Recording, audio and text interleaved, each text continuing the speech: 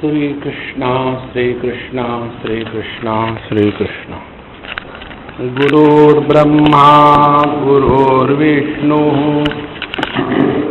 देवो महेश्वरः। गुरु साक्षात् परं ब्रह्म। तस्मै श्री गुरवे नमः। तस्मै श्री गुरवे नमः। सृष्टि के बारे में, जगत के बारे में विचार करना व्यर्थ है। उस विचार से कुछ लाभ नहीं होता। इसलिए यह सृष्टि को लेकर के अनेक प्रकार के विचार आपको शास्त्रों में फिलोसफीज में मिलेंगे और फिर उसी में हम बिज़ी रहते हैं। इसके बारे में एक उदाहरण देते हैं संत लोग एक आदमी, ज्ञानी पुरुष, कहीं जा रहा था। और वहाँ चार लोग झगड़ा कर रहे थे। झगड़ा किस बात का था? इस बात का था कि ये सांप है या माला है या भूछिद्र है या पानी की लकीर है, इसको लेकर के चार लोगों का झगड़ा चल रहा और ये जो ज्ञानी पुरुष था, उसको मालूम था कि ये रस्ती है। अब यह ज्ञानी पुरुष किसका साथ देगा? और यदि वो सबको कहेगा, अरे, सभी के सभी तुम बेवकूफ़ हो तो उसकी नौबत आ गई ना। इसीलिए ज्ञानी पुरुष चुप रहे थे इसमें डिस्कस करने की कोई बात नहीं है कि वह सांप का इल्यूजन ठीक है कि माला का इल्यूजन ठीक है? अरे भैया इल्यूजन तो इल्यूजन ही है ना?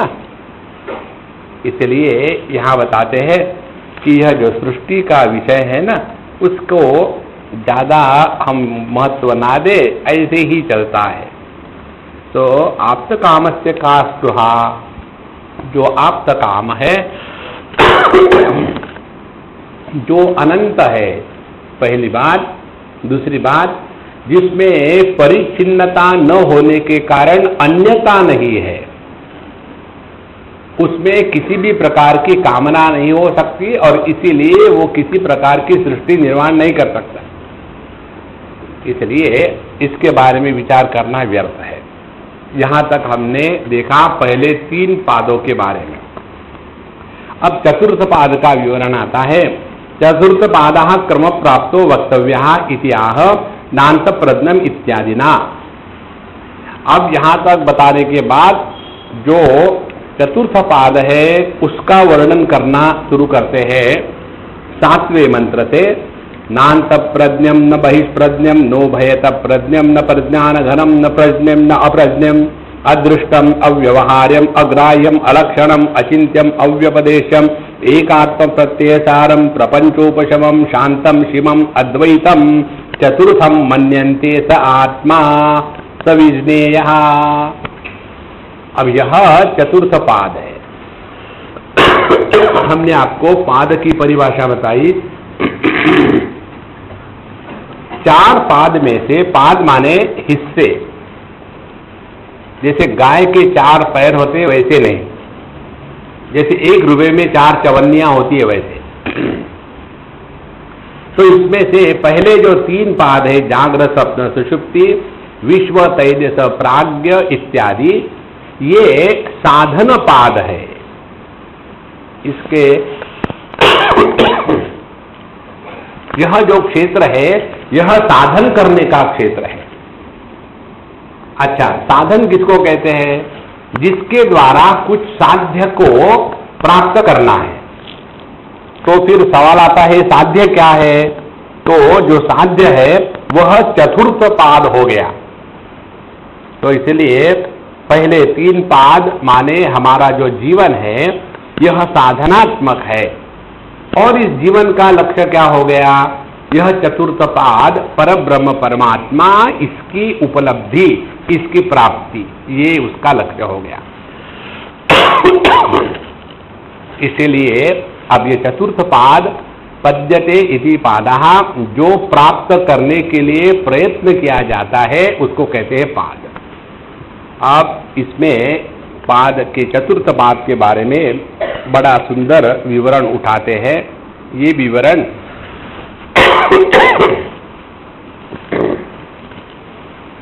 हमें तत्व के बारे में बताने के लिए अत्यंत आवश्यक है। नान्त प्रज्ञम इत्यादि ना सर्व शब्द प्रवृत्ति निमित्त शून्यवाद तस्य शब्द शब्दान अनभिधेयत्वम इति विशेष प्रतिषेधना एव च तुरीयम निर्दिदीक्षति। यह जो चतुर्थ पाद है परम ब्रह्म परमात्मा यह किसी भी शब्दों के द्वारा बताया नहीं जा सकता। ऐसा है, वैसा है। तो फिर क्या करें? तो ये ऐसा है। जैसे कोई एक व्यक्ति है, जिसके बारे में हमको कुछ मालूम नहीं और बताया कि आप जाकर के उसको एयरपोर्ट पर या रेलवे स्टेशन पर रिसीव करो। लेकिन मैं तो गुप्ता जी को जानता ही नहीं। कैसे पहचानूँगा? तो बताते हैं। देखो, गुप्ता जी जो है ना, वो लंबे नहीं है। गुप्ता जी जो है ना, उनके सर पर बाल नहीं है। गुप्ता जी जो है ना, वो गोरे नहीं है। गुप्ता जी जो है ना, वो स्मार्ट नहीं है। अब क्या है वो बताओ ना। माने जो नहीं है नहीं है, ऐसा न न करके नेति नेति, जिसका जिसका तिरस्कार हो सकता है, वह तिरस्कार करते करते हम इस स्थिति पर पहुँचते हैं कि उसके बाद त्याग करना असंभव है। जो अत्याज्य है, वह परमात्मा है। और हमको ज्ञान किसके बारे में है? हमको ज्ञान है जागृत स्वप्न सुषुप्ति। तो जागृत स्वप्न सुषुप्ति और उसका अनुभव करता, यह चतुर्थ पाद नहीं है। इस प्रकार से नेति नेति निषेधात्मक दृष्टि से ही तत्व का निर्देश किया जाता है। तो सर्व शब्द प्रवृत्ति निमित्त शून्यवाद तात्पर्य क्या है? शब्द की प्रवृत्ति, शब्द का प्रयोग कब किस लिए किया जाता है और कैसे किया जाता है?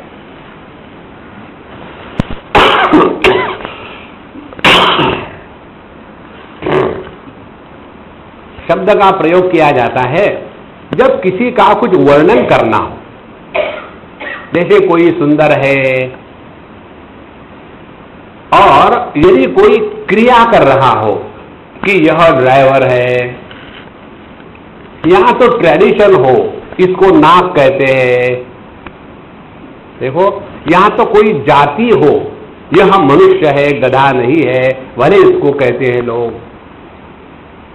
माने, शब्द की प्रवृत्ति, गुण, क्रिया और ट्रेडिशन और किसी प्रकार का विशेष वर्णन इसी के लिए हो सकती है।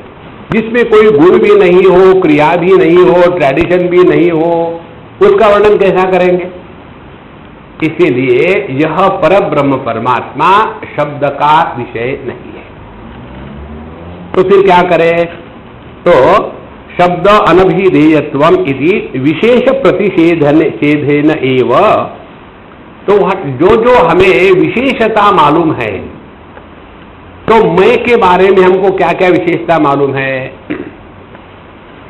बहिप्रज्ञ अंत प्रज्ञ स्थूल भूक प्रविविक्त भूक आनंद भूक चेतो मुखा, एकोनविंशति मुखा सप्तांग ये हमको मालूम है। तो अब इस तो जो तत्व है, इसका वर्णन कैसा करेंगे? तो जो मालूम है और जो शब्दों के द्वारा बताया जा सकता है, उनका निषेध करके ही हम तत्व को प्रतिपादित कर सकते हैं। इसीलिए तुरीयम निर्दिदीक्षति तुरीय तत्व का इसी प्रकार से वर्णन नहीं किया। निर्दिदीक्षति का तात्पर्य लखाया जाता है। लखाने का तात्पर्य क्या है? इसके लिए हमारे न्याय शास्त्र में एक न्याय आता है, जिसको कहते हैं चंद्र शाखा न्याय। चंद्र शाखा न्याय माने क्या? कि द्वितीय का चंद्र अत्यंत सूक्ष्म है, दिखता नहीं। और आपने देख लिया। और आप अपने मित्र को जान दिखाना चाहते देखो, कितना सुंदर है यह दूज का चाँद। कहा है? कहा है? मेरे जेब में। ऊपर है, देखना। मुझे तो नहीं दिखता। आकाश में है। अब आकाश में कहाँ ढूंढेगा बेचारा? फिर हम क्या कहेंगे, वो पेड़ दिखता है क्या? मैं अंधा हूँ क्या, पेड़ दिखता है? जो दूध के चाँद को देखने को चला, वो पेड़ नहीं देख सकता। अच्छा उस पेड़ की जो दहनी ब्रांच है ना, वो देखिए हाँ उस ब्रांच में ऊपर तक चले जाओ तो वहाँ दो पत्ते देखे हैं देखे हैं। उन पत्तों के बीच में से देखो ना तो तुमको वो दूज का चाँद दिखेगा। माने जो वस्तु ज्ञात नहीं है, उसको लखाने के लिए ज्ञात वस्तु का आधार लिया जाता है। इसी प्रकार से तो जो चंद्रमा दिखाया, वो निर्माण थोड़ी किया है। तो था ही पहले। केवल इस व्यक्ति को ज्ञात नहीं था। इसीलिए परमात्मा का वर्णन परमात्मा को निर्माण नहीं करता और क्योंकि निर्माण नहीं करता तो वहाँ किसी भी प्रकार के कर्म की प्रवृत्ति नहीं हो सकती। और जो वस्तु कर्म के द्वारा निर्मित नहीं, वो अनादि अनंत है तो उसमें किसी प्रकार के गुण इत्यादि नहीं, क्रिया नहीं है, किसी प्रकार की ट्रेडिशन नहीं है, इसीलिए इस शब्द का विषय नहीं बन सकता। और इसीलिए नान्त प्रज्ञ न वहिष प्रज्ञ इत्यादि निषेधात्मक शब्दों से ही जो शब्द के परे है, उसको लखाया जाता है। अच्छा जब ऐसा कहा तो अंत प्रज्ञ भी नहीं बहिष प्रज्ञ भी नहीं है, ये भी नहीं, वो भी नहीं तो कुछ है ही नहीं फिर। जब आदमी खसिया जाता है ना तो शून्य में वम तर्री तक ये तो वो है ही नहीं, शून्य हो गया तो कहते हैं, नहीं नहीं, ऐसी बात नहीं। मिथ्या विकल्प से निर्निमित्व अनुपत्ते है। अब ये सिद्धांत की बात है। कोई भी इल्यूजन हो, प्रतीति हो, किसी भी प्रतीति का जब तक आधार नहीं होगा, तब तक उस पर प्रतीति नहीं होती। माने रस्सी आधार है और रस्सी का ज्ञान नहीं होने से और रस्सी को अन्य रूप से समझने के कारण हम रस्सी के स्थान पर सांप को देखते हैं। तो जब हम कहते हैं कि यह सांप है तो उसमें जो है पना है, वह रस्सी है। और जब उसको ठीक प्रमाणों से देखते हैं तो कौन से ठीक प्रमाण है? एक तो प्रमाण है प्रकाश, दूसरा प्रमाण है आँखें तो ठीक से हम प्रकाश लेकर के गए और उस सांप को देखने का प्रयत्न किया तो क्या हो गया? जो अध्यारोपित अन्यथा ग्रहण था, वह सांप गायब हो जाएगा और वहाँ अब कुछ भी नहीं है कहेंगे नहीं, सांप नहीं है, लेकिन रस्सी ज़रूर है। इसी प्रकार से यह जो जगत है, यह परब्रह्म परमात्मा, जो चेतन सत्ता है इस पर नाम रूप का अध्यारोपण है। इसीलिए हमने आपको उस दिन बताया था, वेदांत में जगत की स्थिति केवल विवर्त के रूप में ही स्वीकार करते हैं। विवर्त माने जो दिखता है लेकिन होता नहीं, जिसका अनुभव होता है लेकिन वो होता नहीं। देखो, दो प्रकार के भ्रम होते हैं, एक सोपाधिक, एक निरुपाधिक। जो निरुपाधिक भ्रम है, वो कैसा है कि जिसमें हम सांप में रस्सी में सांप को देखते हैं और जहाँ हमने योग्य प्रकार के प्रमाण का प्रयोग किया, सांप गायब हो गया, रस्सी दिखने लगी। ऐसा कभी नहीं होता। 50 परसेंट तो रस्सी दिख रही है। 50 परसेंट सांप अभी बाकी है। ऐसा कभी नहीं होगा। या तो सांप देखोगे या तो रस्सी देखोगे। देखो, यह हो गया निरुपाधिक भ्रम। अब दूसरा भ्रम कौन सा है? सोपाधिक। सोपाधिक भ्रम में आते हैं उदाहरण, जैसे सूर्यास्त, सूर्योदय, या तो आकाश की नीलिमा और आकाश का डोम शेप होना। दो बात। क्योंकि हम इस पृथ्वी के उपाधि से जुड़े हुए हैं, इसीलिए पृथ्वी की गति हम पर भी लागू हो रही है। और इसीलिए सूर्य स्थिर होते होते हुए भी हमारी गति पृथ्वी के साथ हो रही है। तो जब पृथ्वी ऐसी ऐसी नीचे जाती है तो हम सूर्य को ऊपर रूप से देखते हैं। किसको कहते हैं? सोपाधिक भ्रम। और यह भ्रम समझने के बाद भी दिखता है। इसी प्रकार से यह जो जगत है, यह सोपाधिक भ्रम है। इसीलिए इस सोपाधिक भ्रम का आधार क्या है? तो जो इस सोपाधिक भ्रम का आधार है, वही पर ब्रह्म परमात्मा है।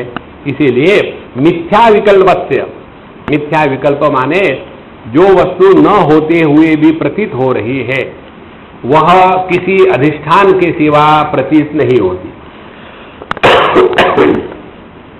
नहीं रजत सर्प पुरुष मृग तृष्णा तृष्टिकादि इव अकल कल्पा शुक्तिका रज स्थाणु ऊचरादि व्यतिरेकेन वस्तु आस्पदा शक्या कल्पयितुम। तो जो अभी हमने आपको उदाहरण दिया इन्होंने चार उदाहरण दिए हैं कि आ, एक तो है चांदी दूसरा है सर्प तीसरा है पुरुष और चौथा है मृग तृष्णा। ये चारों के चार आधार होते हैं। जो समुद्र के किनारे सीप होती है, उसको हम चांदी के रूप में ग्रहण करते हैं, गलती से, रस्सी को सांप के रूप में, और कहीं ठूक खड़ा है तो उसको किसी पुरुष के रूप में, और ये जो सूर्य की वक्र किरणें हैं, उसी को हम तृष्णा जल के रूप में स्वीकार करते हैं। तो बिना ये चार अधिष्ठान के ये चार विकल्प नहीं हो सकते। ये होने के पश्चात अब और प्रश्न उठाते हैं। एवं तरही प्राणादि सर्व विकल्पास्पदत्वाद तुरीय शब्दवाच्यत्व इति न प्रतिषेध ही प्रत्यायत्व उदकाधारा एव घटादे। देखो, इसका मतलब ये हुआ बड़े सुंदर विचार है। इसका मतलब ये होगा कि आपने कहा ना कि यह परब्रह्म परमात्मा शब्द का विषय नहीं है। कैसे नहीं? शब्द का विषय तो है। कैसे?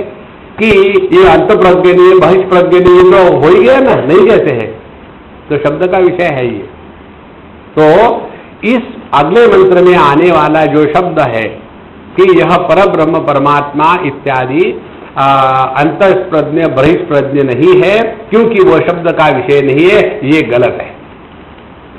तो कहो, जैसे हम दुनिया के बारे में बोल सकते हैं, वैसे परमात्मा के बारे में भी बोल सकते हैं। तो इसको लेकर के अब प्रश्न का उत्तर देते हैं। न, प्राणादि विकल्प से असत्वाद शुक्तिकादि इव शुक्तिकादिशु इव रजतादे।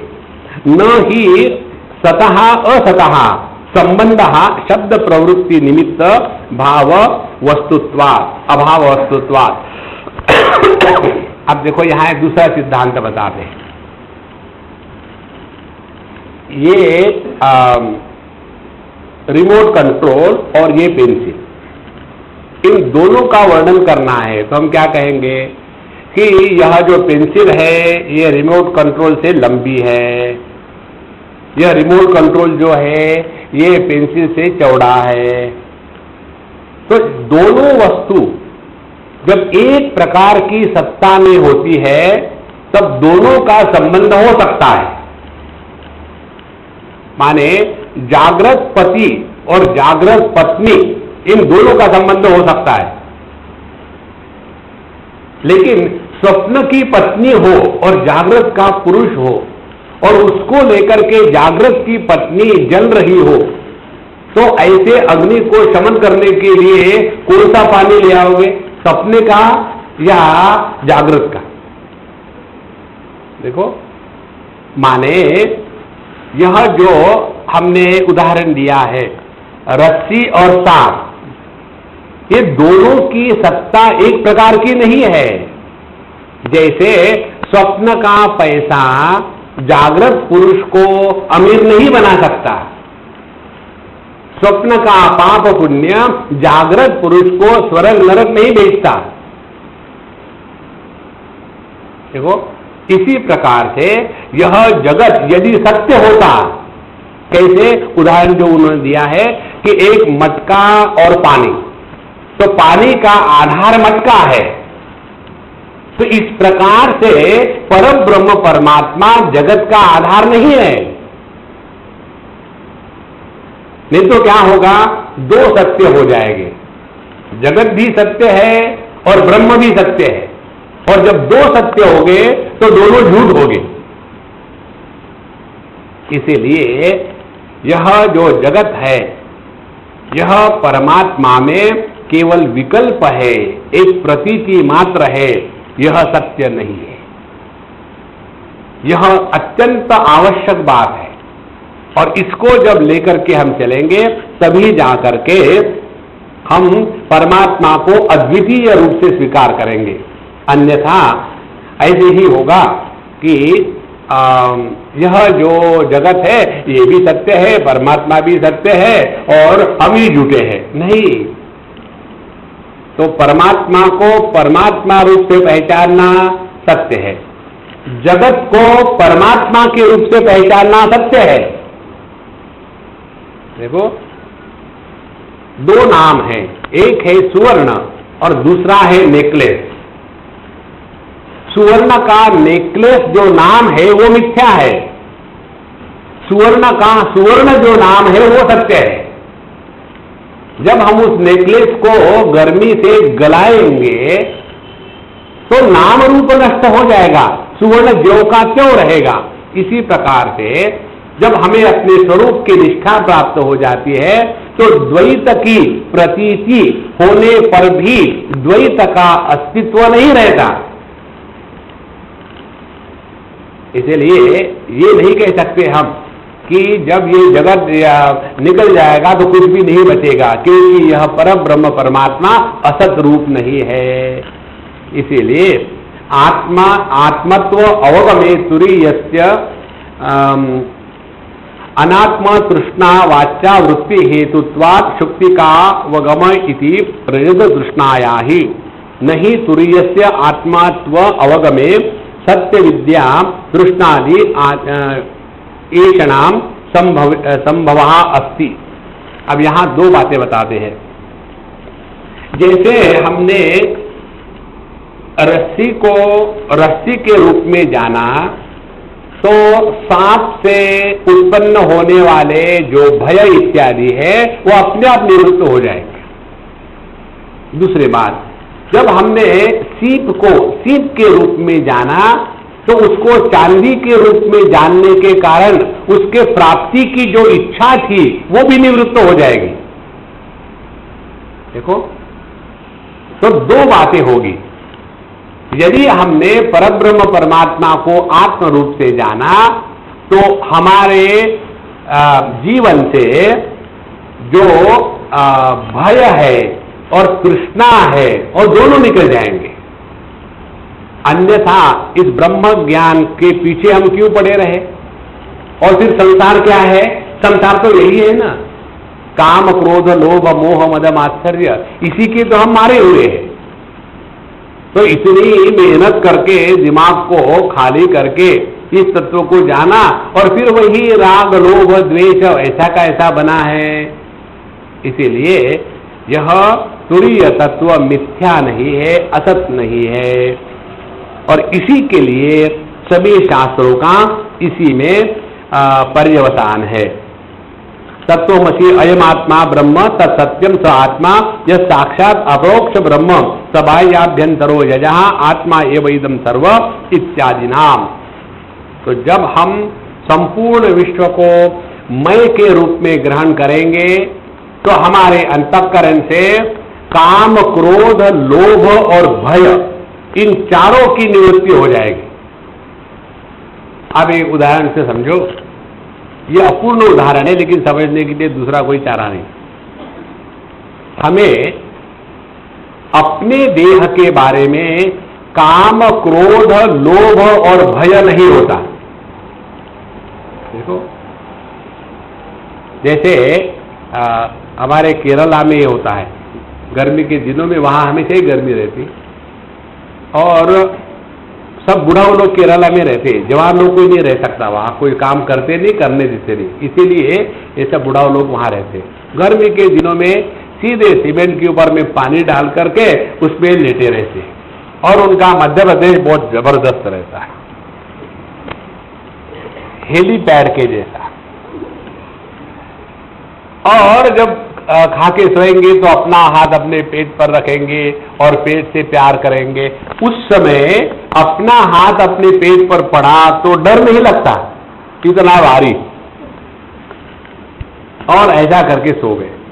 और सोने के बाद ऊपर में एक मदर चिपकली और बेबी चिपकली, दोनों बात कर रही थी। बेबी चिपकली को ट्रेनिंग देना था। How to land on a helipad from a distance without getting a fracture और इसीलिए अब मदर चिपकली कहती है बेबी चिपकली से हाँ वो जो हेलीपैड है ना, उसके ऊपर में अब यहाँ से जंप मारो। नहीं नहीं, मम्मी, मुझे डर लगता है। कुछ नहीं है, नरम है। डरने की कोई बात नहीं। और वो चिपकली जब उस पर जंप मारती है तो एकदम इतना बड़ा दस टन का आदमी धनार से उठ जाता है, क्यों? कि अन्य की प्रतीति वहाँ हुई। माने, जब तक हमारे अंतकरण से अन्य की प्रतीति संपूर्ण रूप से समाप्त नहीं हो जाती, तब तक के काम क्रोध, लोभ, भय, इनका संसार चलता रहेगा।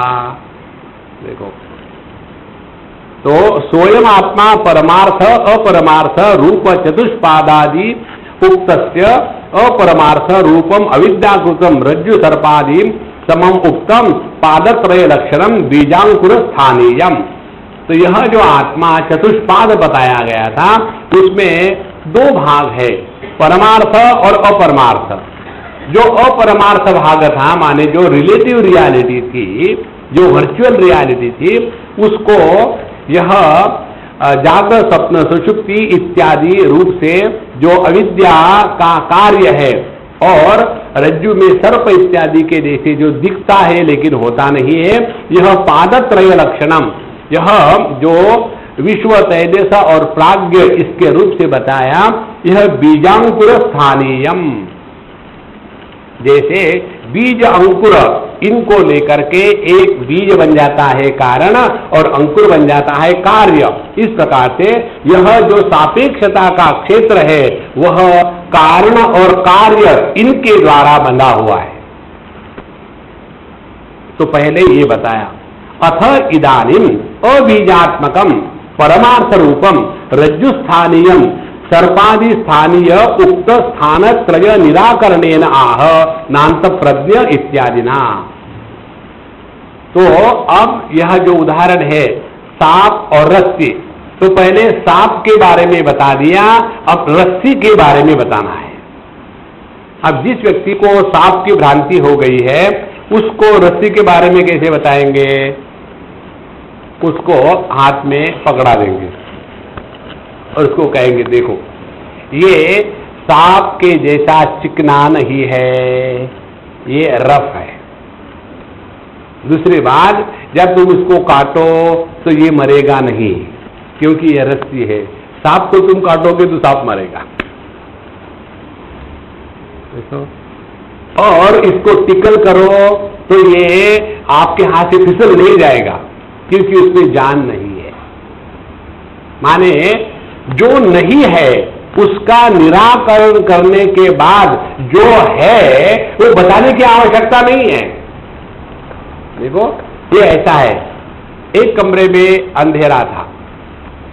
और बताया, देखो, वहाँ जाकर के बिजली चलाओ और फिर वहाँ की अमुक अमुक वस्तु ले आना। तो एक सज्जन गए, बिजली जलाई। बीज जलाने के बाद क्या होगा? नहीं बिजली तो जलाई मैंने, लेकिन वो वस्तु मुझे दिखी नहीं। क्यों नहीं दिखी? आपने तो कहा था बिजली जलाओ अंधेरे को नष्ट करने के लिए। अंधेरा का तो नाश हो गया। लेकिन वहाँ कोई वस्तु है ही नहीं तो तुम अंधे हो गई फिर। जिस समय अंधकार नष्ट हो गया, उसी समय उस कमरे में जो वस्तु है, वो अपने आप प्रकट हो गई है। अंधेरे के नाश होने से वस्तु का निर्माण नहीं हुआ। इसी प्रकार से जो हमने अपने आप को विश्व तेजस, प्राज्ञ इत्यादि के द्वारा परिच्छिन्न समझ करके सुखी दुखी होकर के संसारी बन करके जी रहे हैं जहाँ इसका त्याग हो जाएगा तो उसके बाद आप पर ब्रह्म परमात्मा हो, ये कहने की आवश्यकता ही नहीं। और इसीलिए इस चतुर्थ पाद का, तृतीय का जो तुरीय का जो स्वरूप है, वो बताने के लिए नेकी नेकी, यह नहीं यह नहीं, इसी प्रकार से बताया जा सकता है, और सातवें मंत्र में ये बताते हैं।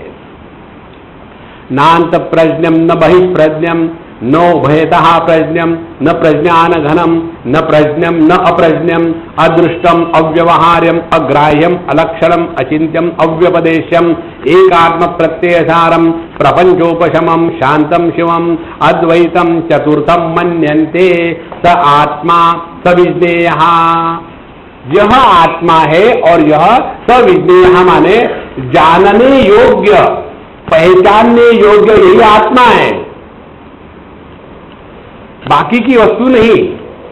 बाकी की वस्तु किसके लिए योग्य है? त्यागने के लिए। देखो, अब आप ले लो धर्म का, आप ले लो योग का। उसमें जो त्याज्य है, उसी को ज़्यादा महत्व देते हैं।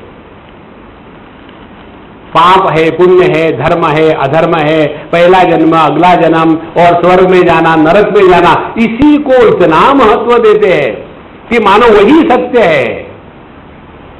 देखो, इसीलिए धर्म, अधर्म में और ये योग इत्यादि में ये बहुत ज़बरदस्त विचार आता है। अनेक जन्मों की साधना करने के बाद हमको मनुष्य जन्म प्राप्त होता है। देखो। और उसके बाद यदि आप पाप करोगे तो नरक में जाओगे। नरक होगा तब तो जाएँगे ना। नरक में जाने की कोई ज़रूरत नहीं। आप कहाँ हो? देखो, एक प्रत्यय है संस्कृत भाषा में। क प्रत्यय का अर्थ कभी कभी वो शब्दों में परिवर्तन करता है कभी कभी नहीं करता। जैसे बाल माने चाइल्ड बच्चा। बालक माने बच्चा। उसी प्रकार से नर। और नरक एक ही है, और कोई फ़र्क नहीं। देखो, इसीलिए आप इसके बारे में समझते हैं। जहाँ बड़े सुंदर विचार आते हैं भगवान शंकराचार्य के भाष्य में, ननु आत्मन चतुष्पात्व प्रतिज्ञाय पादत्रय कथन एवं चतुर्थ नान्त प्रज्ञादि यहाँ सिद्धे नान्त प्रज्ञ प्रतिषेध अनर्थक। ये जो प्रश्न उठाते हैं ना बड़े सुंदर प्रश्न होते हैं। कहते हैं पहले क्या कहा कि आत्मा चतुष्पाद है आँख है उसके बाद तीनों का वर्णन कर दिया। हाँ जी। फिर जो बचा है, वो चौथा है। ये खामो खाम नान्त प्रज्ञ, न बहिष्प्रज्ञ खामो खाम क्यों लिखा है? कोई ज़रूरत नहीं इस मंत्र की। देखो, एक एक चीज़ को उन्होंने फाड़ के रखा है। और जब सभी प्रकार के संदेह से ज्ञान मुक्त हो जाता है ना तभी जाकर के निष्ठा होती है। नहीं तो ध्यान के लिए बैठेंगे और अरे इसके आगे क्या करना है? हाँ। स्वामी जी मैं यहाँ तक पहुँच जाऊँ अब क्या करूँ? फ़ोन रख दो लीजिए वहाँ आपको कोई बताएगा नहीं आपका ही ज्ञान आपको काम में आएगा। देखो कई बार कितने लोग अनेक सालों तक साधना करते हैं और यही चक्कर रहता है उनका। कारण क्या है? यह जो फाउंडेशन है, इसमें अभी कच्चापन है। मन में बहुत विक्षेप आते हैं, क्या करें? किसके मन में आते हैं? हाँ मेरे मन में। तो आप जानो मैं क्या जानो? देखो ये सब प्रश्न जो हम पूछते हैं ना, इसका एक ही कारण है। हम चिंतन करने से घबराते हैं। जैसे नहीं, जब हम आपकी बात सुनते हैं ना, तब तो बड़ा सिंपल लगता है, जहाँ बाहर गए, फिर गड़बड़ी शुरू। ऐसा क्यों होता है? अब क्यों क्यों के चक्कर में मत पड़ो। अपने अनुभवों का विश्लेषण करो। ब्रेकफास्ट खाई, ग्यारह बजे फिर भूख लगी। लंच खाया, फिर चार बजे फिर भूख लगी। चार बजे खाया, आठ बजे फिर भूख लगी। कभी प्रश्न पूछते किसी को जा करके मैंने आठ बजे तो ब्रेकफास्ट किया था, फिर बारह बजे भूख लगी, क्या करें? चिंतन करो। अरे खाना खा लो ना भूख लगी है तो। इसी प्रकार से यह जो तत्व ज्ञान है, इसकी हमको भूख नहीं लगी। इसीलिए टाइम पास करने के लिए हम क्यों विचार करें, आप बताओ। और फिर कैसे आप बताते जाओ, ये फ़िक्र मत करो कि हम सुन रहे कि नहीं। देखो, इसीलिए यहाँ अब चिंतन शुरू होता है। यदि ये तीन आत्माओं चपादों का हमने यदि तिरस्कार कर दिया तो चतुर्थ तो आ ही गया है। अब उसके बारे में फिर विचार करने की नान्त प्रज्ञा क्यों बता रहे अब यहाँ इसका वर्णन करते हैं। ऐसी बात नहीं महाराज, न सर्पादि विकल्प प्रतिषेधे न, एव रज्जु स्वरूप प्रतिपत्ति व त्रय त्रय अवस्था एव आत्मन तुरीयत्व प्रतिपादयितत्वात् तत्वमसीति व अब इसको समझो, ऐसा है। जैसे ये तीन वस्तु है और यह पुस्तक चौथी वस्तु है। तो यह जो पुस्तक है और यह जो डिब्बी है, रिमोट कंट्रोलर, पेंसिल है, ये चतुष्पाद हो गए। पहले पेंसिल का वर्णन किया उसके उपयोग बताए, उसका रूप रंग बताए फिर यह दूसरा है, जिसको रिमोट कंट्रोल कहते हैं, इसके बारे में बताया। फिर डिब्बी के बारे में बताया। अब इन तीनों के बारे में बताने के बाद, अब चौथा तो पुस्तक है ही। उसके बारे में क्या बताना है? और वो भी क्या बताना है कि ये पेंसिल नहीं है रिमोट कंट्रोल नहीं है, डिब्बी नहीं। क्या ज्ञान है आपका, धन्य ऐसा यह तुरीय तत्व नहीं है। ध्यान से सुनना। इसको तुरीय इसलिए कहते हैं कि पहले हमारी बुद्धि इन तीनों के द्वारा प्रभावित हुई है। देखो, जो एक ही तत्व, उपाधि के स्थूल उपाधि के कारण जिसको विश्व कहा जाता है, उसी तत्व को सूक्ष्म उपाधि के कारण तेजस कहा जाता है। और उसी तत्व को अज्ञान की उपाधि के कारण प्राज्ञ कहा जाता है। वह चौथा तत्व असल में तीनों से अलग नहीं है वह तीनों में अनुस्थित है। ये बताना प्रयोजन है। देखो, नहीं तो हम ऐसे समझेंगे, अपने को क्या करना अपन तो आत्मा ही है। हाँ हाँ। तो यह जो तीन बातें हैं विश्व तेजस प्राज्ञ ये एक ही तत्व पर अध्यारोपित है। तो जो सब में अखंड, अनंत, अकाट्य, अनादि और अविकारी तत्व है, इसको हमको पहचानना है। वह तुरीय है। ऐसे नहीं कि तीन वस्तु को अलग कर दो तो जो बचेगा, वो है, ऐसी बात नहीं है। तीन वस्तुओं में भी है। जैसे यह पुस्तक डिब्बी में नहीं है। यह पुस्तक रिमोट कंट्रोल में नहीं है। यह पुस्तक इस पेंसिल में नहीं है। उसी प्रकार से यह स्तूरीय तत्व अन्य तीनों में नहीं है। ऐसी बात नहीं देखो, इसीलिए यदि ही त्र अवस्था, त्री अवस्था आत्मविलक्षण तुरीयम अन्य तत्प्रतिपत्ति द्वारा भावार शास्त्रोपदेश अनर्थक्यम शून्यता आपत्तिर्वा। यदि हम ऐसा समझे कि जैसे इन चार वस्तुओं में तीन वस्तु अलग है, चौथी वस्तु अलग है तो ये तीनों का निराकरण करने के बाद चौथी जो बचेगी, वो भी सत्य नहीं होगी। और इसके बाद शास्त्र का जो उपदेश है कि सब में एक तत्व है, उसको पहचानने से दुख की निवृत्ति होती है, वह शास्त्र का उपदेश भी एकदम अनावश्यक अर्थ रहित हो जाएगा। यहाँ तो फिर हम कहेंगे कि यह जो तीन वस्तु का जैसा हमने तिरस्कार किया, वैसे चौथे का भी तिरस्कार हो जाएगा। तो जैसे हमने जागृत पुरुष विश्व का तिरस्कार किया और फिर स्वप्न पुरुष उसका तिरस्कार किया, सुषुप्त पुरुष प्राज्ञ उसका तिरस्कार किया, उसी प्रकार से सूर्य उसका भी तिरस्कार करेंगे। जब एक का कर सकते हैं, दूसरे का कर सकते हैं तो तीसरे का भी होगा। लेकिन ये ऐसा नहीं है। इसीलिए इसको तुरीय कहते हैं। अन्यथा हम इस परमात्मा को इन तीनों से अलग समझेंगे, अलग नहीं है। इसी एक परमात्मा में ये तीन अध्यारोपित करे गए हैं। इसको समझना हो तो अपने नॉर्मल एग्ज़ाम्पल से समझ ले। एक ही आदमी पर तीन उपाधियाँ जब चढ़ती है, तब उसको कहेंगे कि वह पति है, वह पिता है, वह पुत्र है। तो यह पति, पिता, पुत्र, इन तीनों में एक ही आदमी है। तो हम क्या कहेंगे? यह जो आदमी है, यह तुरीय है। तो क्या इस आदमी को हम ये तीनों से अलग हटा सकते हैं क्या? नहीं। तो जहाँ ऐसी कल्पना करो कि जैसे आदमी निकल गया इन तीनों में से, यह पति, पिता और पुत्र, इन तीनों में से आदमी निकल गया तो उनका अस्तित्व होगा। इसी प्रकार से यह चेतन सत्ता जागृत पुरुष, स्वप्न पुरुष सुषुप्त पुरुष इनमें से निकल गई तो उनकी सत्ता नहीं हो सकती। लेकिन परेशानी मालूम है क्या है?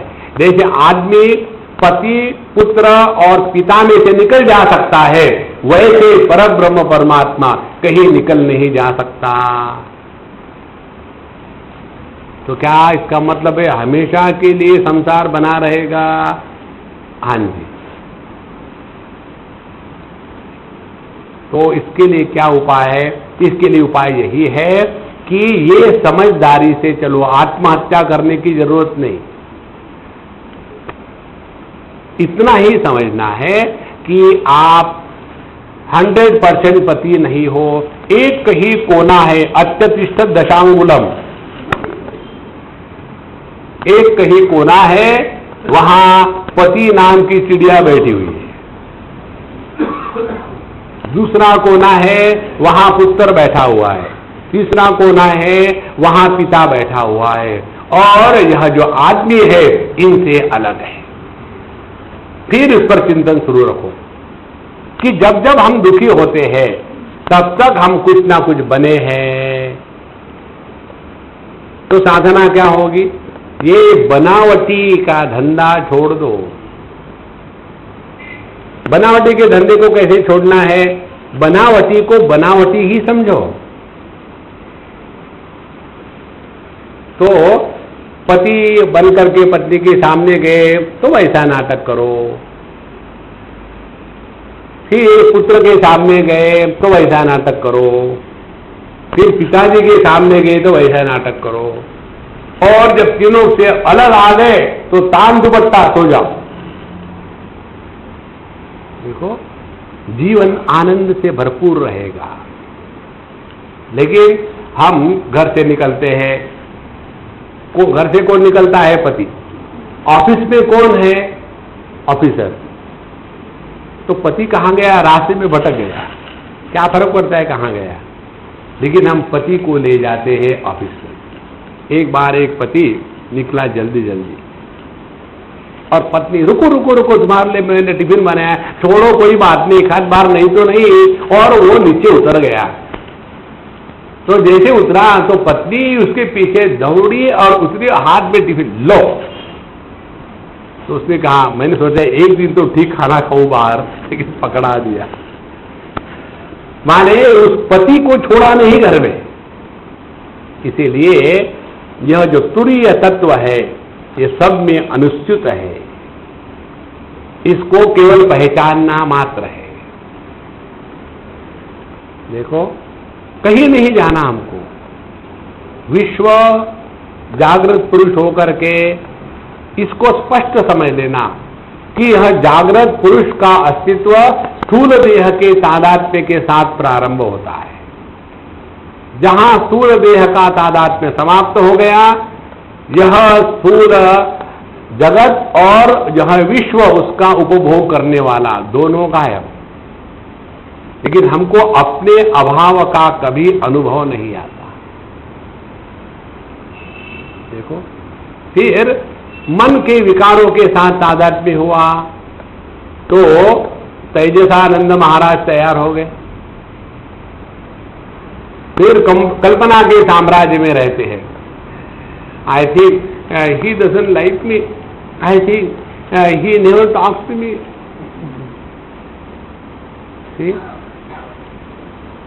एक बार मुझे किसी ने पूछा था ऐसा, इसलिए मैं बता रहा हूँ। स्वामी जी आप मेरे से बात क्यों नहीं करते? मैंने बोला, मैं पागल हूँ क्या स्वामी जी, क्या मेरे से बात कर रहे थे? पागल होता है कोई? ऐसे नहीं। जो आदमी अपने से बात करता है, वो पागल होता है। तुम और मैं अलग थोड़ी है। मैं तो ज्ञान की निष्ठा में बैठ करके बोल रहा हूँ। देखो, जहाँ हमारे मन के विकारों से हम मुक्त हो गए तो वहाँ सब सिनेमा गायब। देखो, हमको इसीलिए केवल इतना ही साधना करनी है कि जहाँ जहाँ हम कुछ तादात्म्य करके बने हैं ना, उसी का त्याग करना है। इसीलिए नासमझी का दुख समझदारी से ही जाएगा। अंधकार को हटाने के लिए झाड़ू लगाने से नहीं जाएगा अंधकार। या अंधकार को निकालने के लिए पानी से धोने से नहीं जाएगा।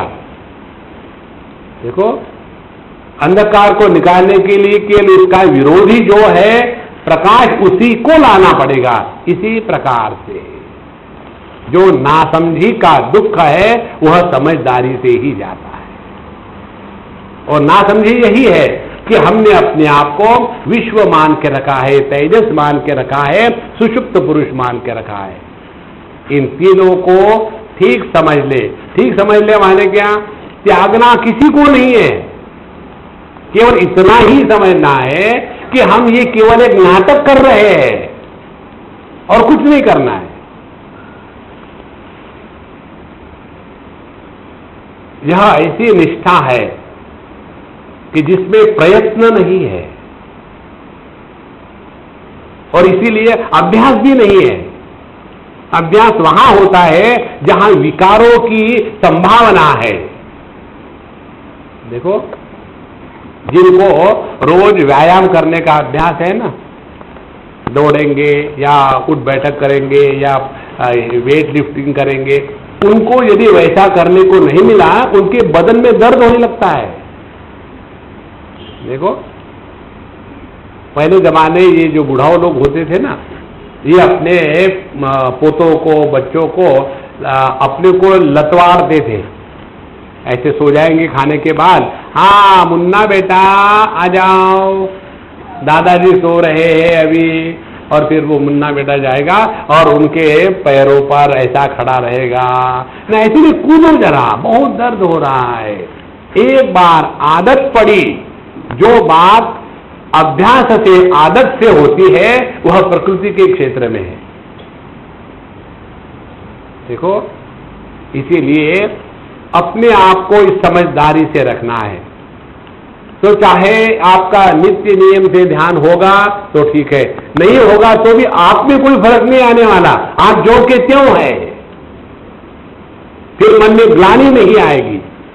ध्यान होने से अभिमान नहीं होगा। क्योंकि ये सब का सब प्रकृति के क्षेत्र में है, उससे हमको कुछ लेना नहीं, देना नहीं। इसीलिए जिनको ऐसा ये भी हमने आपको जो बताया ना, उसका संस्कृत में भगवान शंकराचार्य का है येषाम पुनः तमह अपनयन व्यतिरेकेन घटाधिगमे प्रमाणम व्याप्रियते, तेषां छिद्य अवयव संबंध वियोग व्यतिरेकेन अन्यतर अवयवेपि छिद्दी व्याप्रियते इति उत्तम स्यात्। कहते हैं कि जैसे अंधकार को नष्ट करने वाला प्रकाश लाने के बाद फिर उन वस्तुओं को दिखाने के लिए अन्य अन्य प्रमाण की आवश्यकता नहीं होती। लेकिन कोई कहे कि नहीं जी, आपने जो कहा, अंधकार मिटा, वो तो मिटा दिया, अब वस्तु तो दिखती नहीं। ऐसे नहीं, दोनों समकाल है। इसी प्रकार से एक वस्तु को काट के उसके टुकड़े बनाओ तो काट दिया। टुकड़े तो बने ही नहीं। काटना और टुकड़े बनाना एक ही है, दो नहीं है। इसी प्रकार से अपने स्वरूप को पहचानना, माने जो हमने अपने बारे में गलत फहमी समझा के रखी है, उसको हमको त्याग देना है। उसके बाद आगे कहते हैं कि जब यह अज्ञान नष्ट करना ही हमको ठीक से करना है तो इसीलिए यह अंत प्रज्ञ इत्यादि सबके सब शब्दों का प्रयोग किया गया है। न तद हाँ। अब यह आत्मा में अंत प्रज्ञ बहिष्प्रज्ञ इत्यादि जो अध्यारोपण किया है, अध्यारोपण कैसे हुआ है? पत्नी का अध्यारोपण पति पर होने, आदमी पर होने के बाद उनका पति बनता है। उसी प्रकार के स्थूल देह के उपाधि आत्मा पर अध्यारोपित करने से विश्व बनता है। तो आदमी को या पति को आदमी बनने में क्या करना पड़ेगा? डाइवोर्स लेने की ज़रूरत नहीं है। केवल यही समझना कि हम जब पत्नी के सामने होते हैं तो ठीक से बिहेव करें, बस टाइम पास करो, और क्या है? Don't make a prestige issue धीरे धीरे ये बात आपके हृदय में ऐसी सहजता से उतरेगी कि जगत के कोई भी अनुभव आपको विक्षेपित नहीं करेंगे और हम अपने इस निष्ठा में पक्के बने रहेंगे। और इसीलिए जब हम यह औपाधिकत्व को त्याग देते हैं तो अपना स्वरूप अपने आप प्रकट हो जाता है। इसीलिए यह जो तत्व का प्रतिपादन करने का यही एक तरीका है, दूसरा कोई तरीका नहीं। नान्त प्रज्ञम इति तेजस प्रतिषेध। अब ये पहला सब बताने के पश्चात अब मंत्र में हम प्रवेश करते हैं। नान्त प्रज्ञ न बहिष्प्रज्ञ न उभय प्रज्ञ न प्रज्ञ न अप्रज्ञ। अब एक एक शब्द का यहाँ विस्तार से वर्णन करते हैं। अंत प्रज्ञ न माने तेजस और तेजस प्रतिषेध। तो हमको बताया था पहले तेजस क्या है? अंत प्रज्ञ सप्तांग एक और विंशति मुख। तो यह अंत प्रज्ञ नहीं है माने हमने तेजस की सप्न पुरुष की उपाधि का त्याग कर दिया। इसके मतलब क्या निकला? स्वप्न में किसी को दान भी कर दिया है तो कोई फ़र्क नहीं पड़ता। नहीं किया तो भी कोई फ़र्क नहीं पड़ता। देखो ये सब दुनिया का चक्कर ऐसा ही चलता रहेगा। ज़्यादा सीरियस होकर के मत चलो दुनिया में। नहीं तो रघुकुल रीत सदा चली आई, प्राण जाई, पर वचन न जाई। मरो भी देखो, अमेरिकन बनकर के रहो।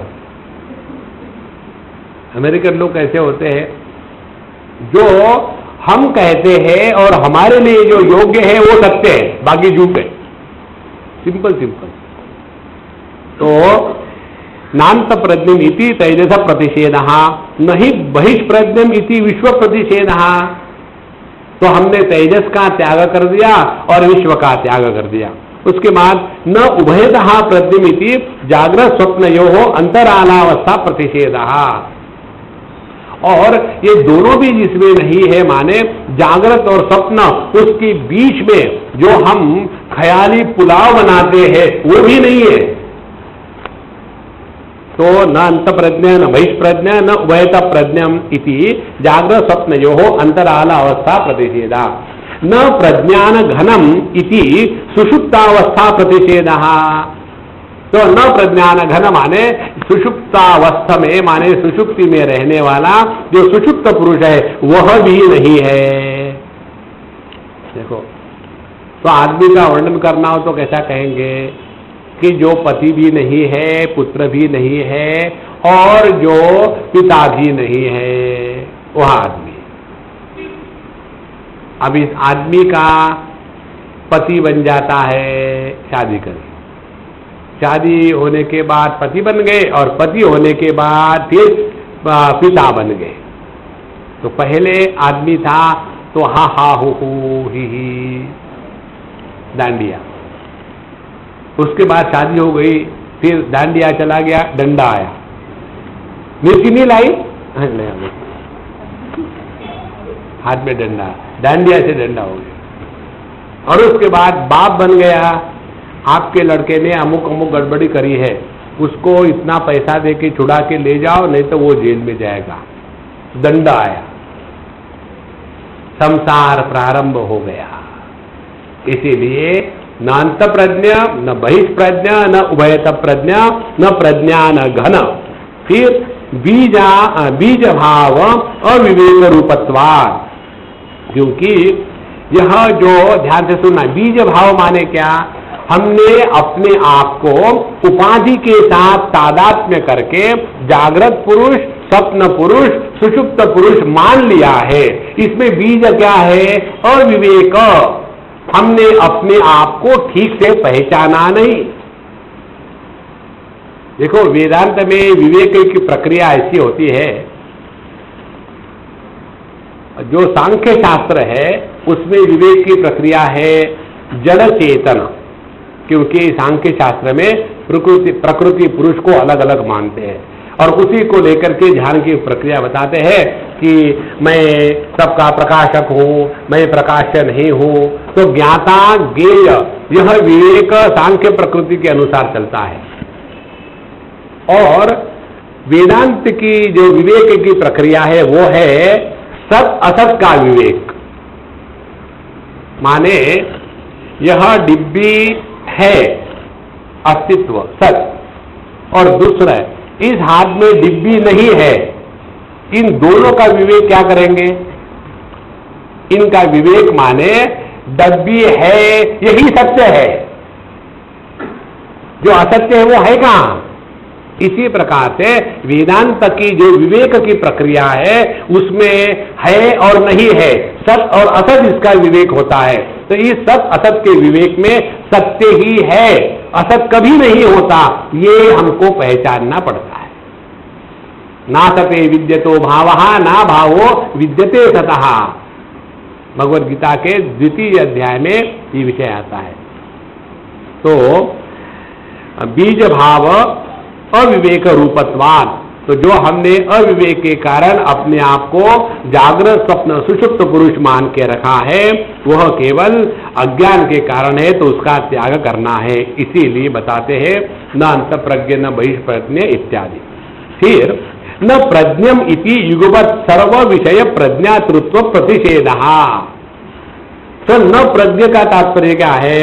इसके द्वारा सभी प्रकार के जो ज्ञाता है, उन सबका त्याग हो गया। अब ध्यान से सुनना। सभी प्रकार के कौन से ज्ञाता है, हमको तो तीन ही मालूम थे। विश्व तेजस और प्राग्ञ और बाकी के कहाँ से ले आए? विश्व में होता है पति, पुत्र, भाई, बहन, माँ, बहन और पत्नी, सास, बहू। ये सभी के सभी उस विश्व में आ गए। उसी प्रकार से तेजस में कभी हम राजा बने, कभी भिकारी बने, कभी ज्ञानी बने, कभी अज्ञानी बने, वो सब उसमें आ गए। इसीलिए उन्होंने एक शब्द का प्रयोग किया है, न प्रज्ञम इति युगपत माने साइमल्टेनियसली एक साथ सर्व विषय प्रज्ञातृत्व प्रतिषेध। जब तक के अन्य होगा, तभी तक के ज्ञान का व्यापार है। एक में ज्ञान का व्यापार नहीं हो सकता। जैसे आँखों के द्वारा हम आँखों से अन्य को देख सकते हैं। आँखों के द्वारा आँखों को देखना संभव नहीं है। उस समय आँखों की स्थिति क्या कहेंगे हम? कि आँखें अपने बारे में अंधी है। इसी प्रकार से सभी के सभी व्यापार यहाँ क्षीण हो गए। न अप्रज्ञम इति अचैतन्य प्रतिषेध। लेकिन जब ये ज्ञाता नहीं है इसका मतलब क्या जड़ है? बोले नहीं नहीं नहीं जड़ नहीं चैतन्य ही है।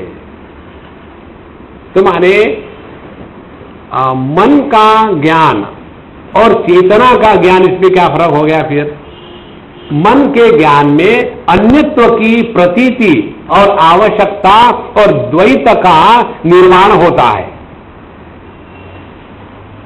और चैतन्य जो ज्ञान स्वरूप है, इसमें अन्य की प्रतीति और द्वैत का निर्माण नहीं होता। इसीलिए उन्होंने शब्द का प्रयोग किया, न अप्रज्ञम इति, अब चैतन्य प्रतिषेध। कथम पुनः अंत प्रज्ञत्वादीना आत्मनि गम्यमान रज्वाद सर्पादिवत प्रतिषेधात असत्व गम्यते उच्यते। तो जब ऐसा कहा कि ये सभी के सभी धर्म तो आत्मा में ही थे ध्यान से सुनना। अंत प्रज्ञ बहिष्प्रज्ञ, ये कहाँ था? ये तो आत्मा में ही थे ना। तो आप कैसा कहते हो कि ये इसमें नहीं है? तो कहते हैं ज्ञ स्वरूप अविशेषे अपनी इतरे तरह व्यभिचाराद रजवाद इव सर्पधारादि विवेक, विकल्पित भेदवत। सर्वत्र अव्यभिचाराद ज्ञ स्वरूप से सत्यत्व देखो विश्व तेजस प्राज्ञ इनका व्यभिचार होता है। व्यभिचार माने क्या? स्थिति नहीं होती। कभी स्थूल देह के साथ तादाद में हुआ तो विश्व प्रकट हुआ। फिर विश्व चला गया। फिर सूक्ष्म देह के साथ तादात्म्य, फिर सूक्ष्म देह का अभिमानी तेजस प्रकट हुआ। फिर वो चला गया। प्राग्ञ आया, वो चला गया।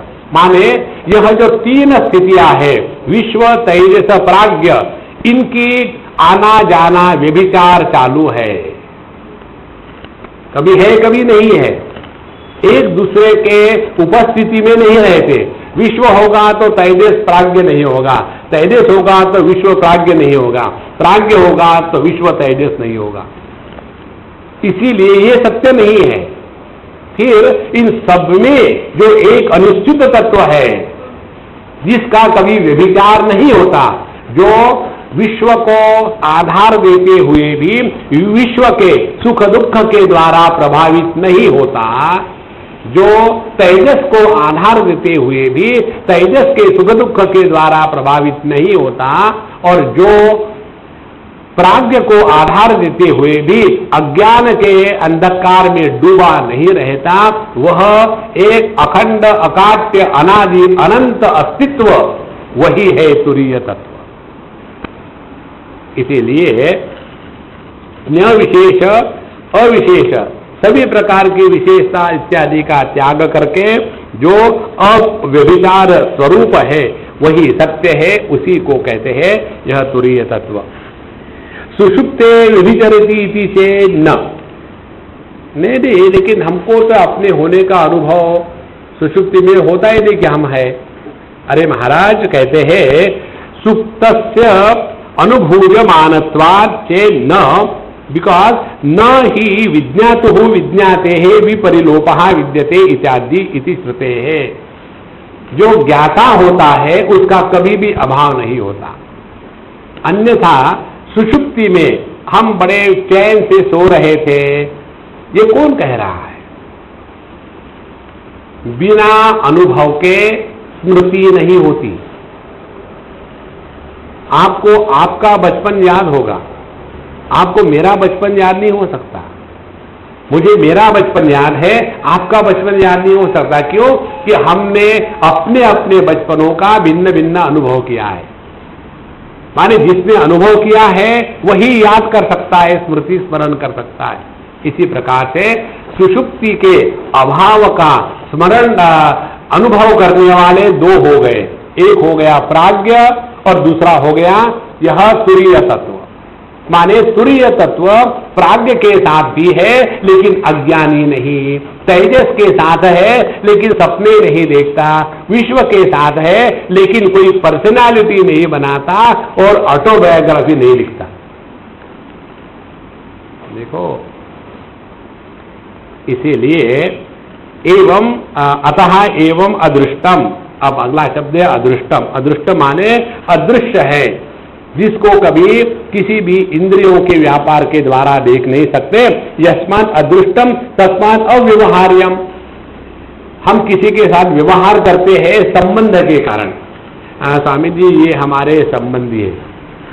हम किसी के यहाँ खाने खाने गए थे, संबंधी है। हमने कहा, संबंधी से क्या संबंध है आपका?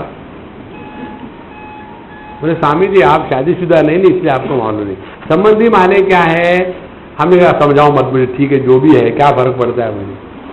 मेरे लिए तो आदमी है। तो यस्मात अदृष्टम अव्यवहार्यम।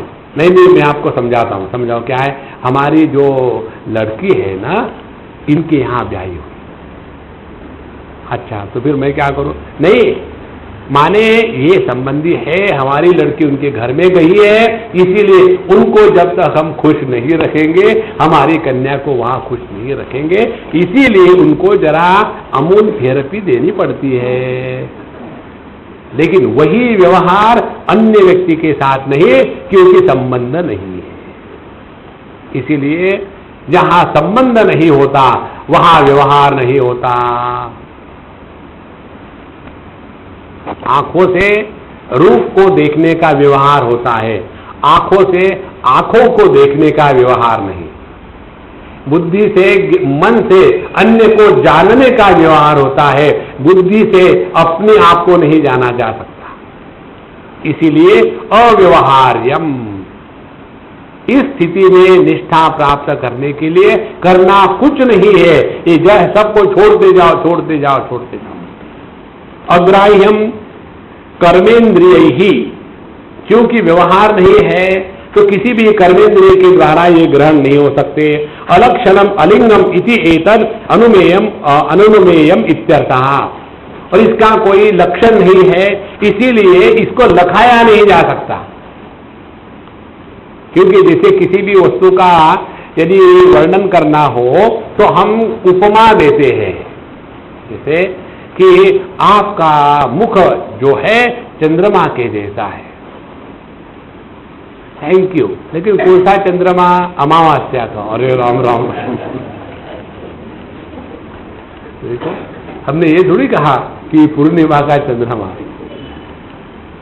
एक रात में दो दो चाँद खिले अच्छा महाराज।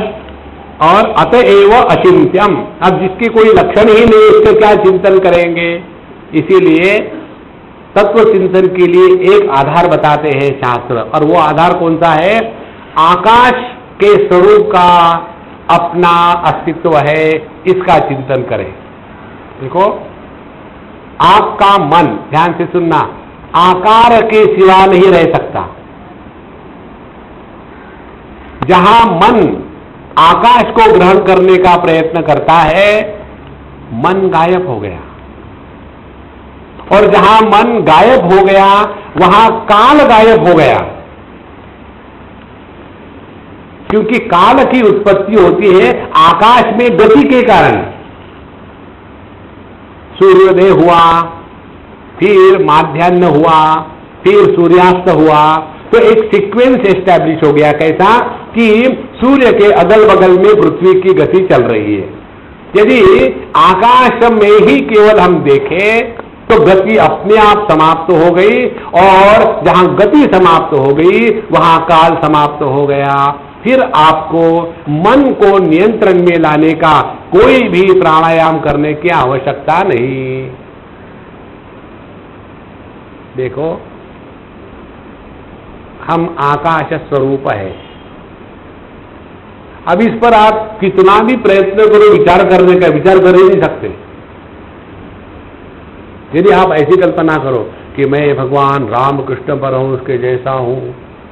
लेकिन मेरी बीबी कहाँ है? अरे रामा।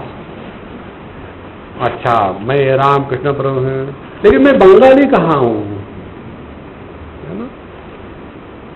कोई ना कोई अड़चने आ जाएगी कि हमने आकाश के स्वरूप से अपने को स्वीकार किया, अपने आप सब शांत हो जाता है। उसमें कोई व्यवहार नहीं। इसीलिए अतएव अचिंत्यम अव्यपदेशम, और आगे कहते हैं अव्यपदेशम शब्द ही किसी प्रकार के शब्दों के द्वारा बताया नहीं जाता। और एकात्म प्रत्यय सारम एकात्म प्रत्यय सारम का तात्पर्य है कि आदि स्थानेशु एक अयम आत्मा इति अव्यविचारी यहाँ प्रत्यय तेन अनुसरणीयम। तो जागृत सप्त सुषुप्ति, इन तीनों में एक जो अखंड तंतु है अनुसरणीयम, उसको हमको एक आत्मा प्रत्यय सारम दैट इज़ द एसेंस सार माने essence that is the essence of our being जागृत आके चले जाता है स्वप्न आके चले जाता है सुषुप्ति आके चली जाती है। देखो, आकाश में सुबह आई, दोपहर आई, शाम आई, चली गई। आकाश को इससे कोई मतलब नहीं। प्रकाश के कारण आकाश प्रकाशित नहीं होता और अंधकार के कारण आकाश में अंधकार नहीं होता। प्रकाश, अंधकार दोनों को प्रकाशित करते हुए यह आकाश प्रकाश अंधकार के परे है। श्री कृष्णा तो एक अनुसरणीयम। अथवा एक आत्म प्रत्यय सारम प्रमाणम जस्य सूर्य से अधिगमे, सूर्यम एक आत्म प्रत्यय सारम आत्मा एव उपासित इति श्रुते। है या तो इसका दूसरा अर्थ एक है, एक आत्म प्रत्यय सारम का है कि केवल इस जगत में सार कोई ग्रहणीय वस्तु यदि कोई है तो यही एकमेवा द्वितीय पर ब्रह्म परमात्मा। बाकी का सब ठीक है अपने। बाकी का सब ठीक है माने उसको लेकर के दिमाग में खिचड़ खिचड़ होने की कोई आवश्यकता नहीं। कि हमेशा ऐसा ही रहा। जब यह निष्ठा पक्की हो जाती है ना तो हम जगत में खूब रहेंगे। मस्ती से रहेंगे। हर एक चीज़ में इंटरेस्ट लेंगे, लेकिन कहीं फंसेंगे नहीं। जीवन रसमय हो जाता है। उदासीन नहीं है कि अब जी के क्या करेंगे, तब तो मिथ्या ही है। अरे बाबा, मरना भी मिथ्या है। लो, मरने भी नहीं। देखो, इसीलिए अंत प्रज्ञत्वादि स्थानीय धर्म प्रतिषेध कृत तो अभी तक ये जो स्थानीय था, माने विश्व तेजस प्राज्ञ, इनके धर्म को उन्होंने त्याग कर दिया। अब जगत पर आते हैं। प्रपंच उपशमम इति जागृत आदि स्थान धर्म अभाव उच्चते तो प्रपंच उपशम का तात्पर्य क्या है? तो जागृत जगत, स्वप्न जगत और सुषुप्त जगत, इन तीनों का जिसमें अभाव है। माने पहले किसका अभाव किया? यह जो विश्व तेजस प्राग्ञ था, इनका अभाव कर दिया। अब इनके जो रहने के स्थान है, इनका भी अभाव हो गया। इसीलिए प्रपंच उपशमम इति, अतएव शांतम अविक्रियम। इसीलिए यह शांत है माने, इसमें किसी प्रकार के विकार, बदल, परिवर्तन नहीं है। जगत हमेशा हमको परिवर्तनशील ही ग्रहण होता है। जगत की किसी भी वस्तु में देखो तो कहते हैं कि देखो, हम कितने दिनों के बाद बंबई आए, पूरी बंबई बदल गई है। जहाँ देखो, वहाँ ब्रिज हो गए हैं। तो यह जगत हमेशा परिवर्तनशील है। तो इसीलिए इसका अभाव होने से शांतम अविक्रियम शिवम यथा अद्वैतम। और शांत है, शिव है, अत्यंत पवित्र है। पवित्रता की पराकाष्ठा क्या है मालूम है? पवित्रता की पराकाष्ठा है कि जिसमें द्वैत का अभाव द्वैत का भाव है। यह हो गई अत्यंत गंदगी। और शिवम माने जो शुद्ध अद्वैत है, जहाँ अन्य की दुर्गंध नहीं है, वह है शिवम, वह अद्वैतम। और इसीलिए भेद विकल्प रहितम। चतुर्थम तुरीयम मनते इसको कहते हैं चतुर्थ या तुरीय। इसी का हमको अनुसंधान करता है। प्रतीयमान पादत्रय रूप वैलक्षण्यात। स आत्मा सविज्ञेय तो हमें जगत में ये दो बातें दिखती है, अनुभव करने वाला और अनुभव का क्षेत्र। इन दोनों का त्याग करने से इनके लक्षण के विरुद्ध जो सभी लक्षणों से रहित है, ऐसा जो है, वह आत्मा सविज्ञेय। देखो विज्ञेय उसको केवल अनुभव करना है। वो प्राप्त है ही। कर्म के द्वारा निर्माण नहीं करना है। उपासना के द्वारा वहाँ पहुँचना नहीं है। इच्छाओं की पूर्ति नहीं करना है। देखो, उपासना करने वाले का यही चक्कर चलता है। हम भगवान की उपासना करके उन कुछ मांग लेंगे। उनकी उपासना करने से हमारी गृहस्थी ठीक चल रही है। गृहस्थी से निकलना कहाँ जाते हैं? इसीलिए सविज्ञ यहाँ इसको केवल पहचानना ही इसी प्रतीयमान सत्व भूछिद्र दंड व्यतिरिक्ता यथा रज्जु तथा तत्वमसीदी वाक्यार्थ आत्मा अदृष्टो दृष्टा इति। तो जैसे सांप भूछिद्र इत्यादि अनेक कल्पनाएँ रज्जु पर, रस्सी पर कल्पित है, उनका त्याग करके रस्सी को केवल जानना मात्र बाकी रहता है सविज्ञ यहाँ तो ऐसा जो आत्मा है, इसको केवल हमको पहचानना मात्र है। अब इसके ऊपर में गौड़पादाचार्य जी भगवान ने बहुत सुंदर सुंदर कारिकाएँ लिखी है। इसको हम कल देखेंगे। ओम पूर्णमद पूर्णमिदम पूर्णात् पूर्णमुदच्यते। पूर्णस्य पूर्णमादाय पूर्णमेवावशिष्यते। ओ शान्ति शान्ति शान्तिः। हरिः ॐ श्रीगुरुभ्यो नमः। हरिः ॐ